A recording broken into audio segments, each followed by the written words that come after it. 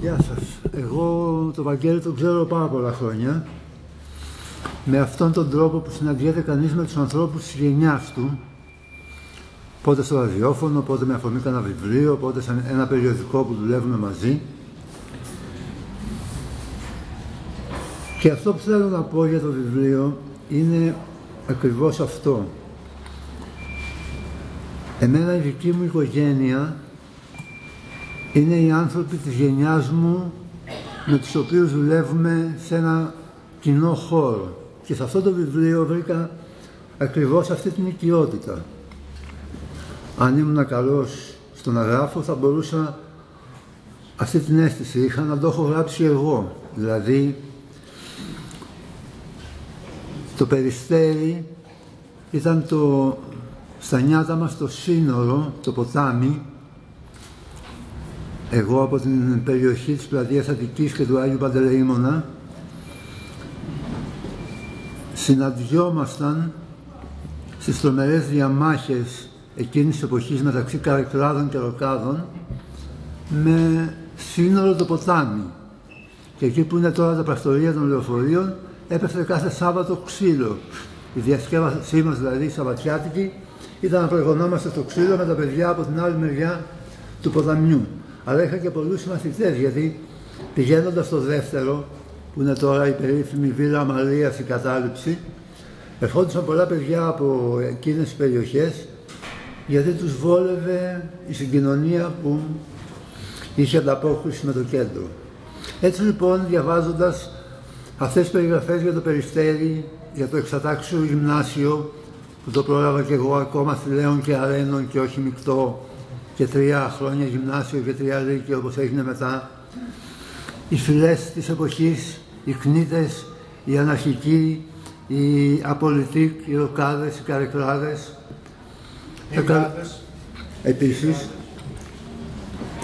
τα καλοκαιρινά σινεμά που βλέπαμε από κάποιο σημείο, από το μπαλκόνι ενός φίλου, από μια ταράτσα παρακείμενου κτηρίου, οι φωτιές που βάζαμε και εμείς στο σχολείο, που ήταν κάπως μία από τις αληθείες εποχής, αλλά και τα ονόματα όλων αυτών των ανθρώπων που παίρνουν μέρος. Νόμιζα ότι είναι λίγο η οικογένειά μου περιγράφεται. Η Νίκη και η Ξένια και η Λέλα και η κυρία Δαμαντία και η γιαγιά Άρτεμις και ο κύριος Μιχάλης και ο κύριος Μίμης. Νόμιζα ότι διαβάζω μια περιγραφή της οικογένειάς μου. Αλλά και τα οι υπόλοιπες αναφορές. Η αδελφή Ντάλτον με τον Άβερελ, ο Σέξπιρ, αλλά και ο Λουντέμις, αλλά και ο Μπέικον και ο Μουν και ο Μπέκετ και ο Πριντς και η Φατμέ και ο Σόμερσετ Μόμ είναι μια κουλτούρα που και εγώ μεγάλωσα μέσα σε αυτή και ζούσαμε τότε αυτές τις αντιφάσεις και τις αντιθέσεις που βρίσκω μέσα σε αυτό το βιβλίο. Θυμάμαι πήγαινα τη μια βραδιά και έβλεπα κουλτουριάρικες ταινίες και την επόμενη πήγαινα στην Αντινέα, εκεί που είναι τώρα τον Γκαγκάριν και έβλεπα δύο έργα καράτε με τον Bruce Lee. Όλο αυτόν τον κόσμο λοιπόν τον βρήκα μέσα σε αυτό το βιβλίο να περιγράφεται. Οι βόλτες στους δρόμους της Αθήνας, όχι μόνο με τα Δεκεμβριανά, αλλά και με τη σύγχρονη εποχή. Και ένιωσα λοιπόν ότι ένας άνθρωπος της γενιάς μου και της φίλης μου έκανε ένα βιβλίο το οποίο είναι απλό, περιγράφει τόσες πολλές ιστορίες μέσα σε μία,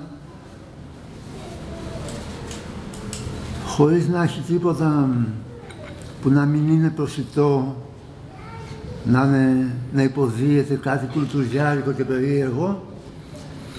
Και ένιωσα πολύ χαρούμενος και με καλή διάθεση που ο Βαγγέλης έκανε ένα βιβλίο το οποίο με έκανε να μπω μέσα σε αυτό σαν κάτοικος και όχι σαν αναγνώστης. Αυτό είναι για μένα αυτό το βιβλίο. Ένα βιβλίο μέσα στο οποίο μπόρεσα να κατοικήσω και όχι απλώς να το διαβάσω.